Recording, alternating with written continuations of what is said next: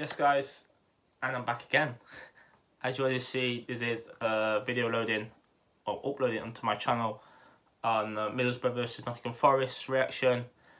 I think a pre-match thing, what the team I reckon they should put out, my analysis of the games previous.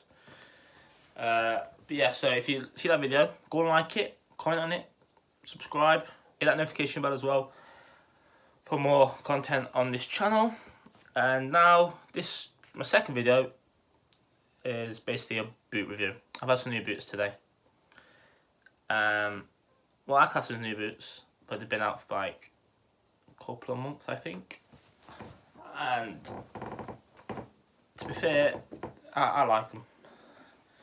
They are the Superfly Firm Ground Wolf Grey and Red boots from Nike.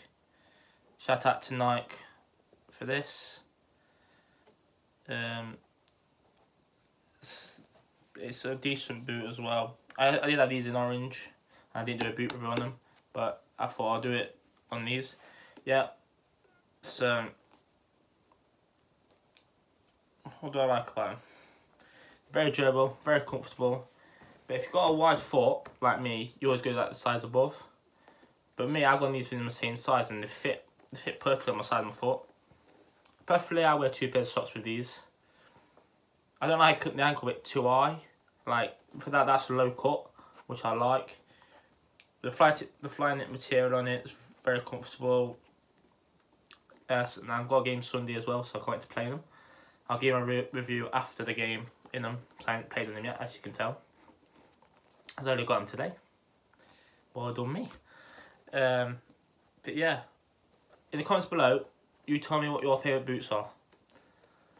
If it can be Nike, Adidas, Puma, Joma, I don't know, whatever boots take your fancy. Um, but put in the comments below what you reckon your what you reckon your favourite boot is, or what your favourite boot is. Um, but yeah, I will put a video up on Sunday after I play football. Based on reaction on these and how they felt and how, and how well I played it with them. Some people go, oh yeah, boots are boots. But some boots make you play better, some make you play worse. So, depending on what boots you feel comfortable in, they're very comfortable as well, very durable. And if, if in my opinion, I recommend these. Get these with the ankle on, or you can get them with without the ankle bit on it's, it's up to you. Well, it's entirely what you prefer.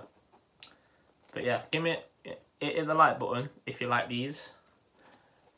And then drop in the comments below what boots you like what boots you dislike.